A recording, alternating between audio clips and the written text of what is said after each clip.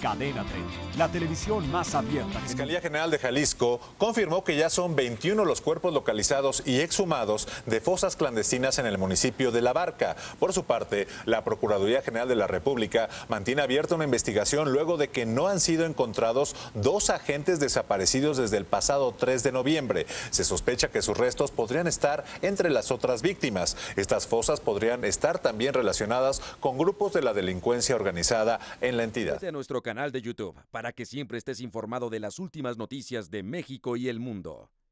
Empieza ahora mismo dándole clic a estos videos.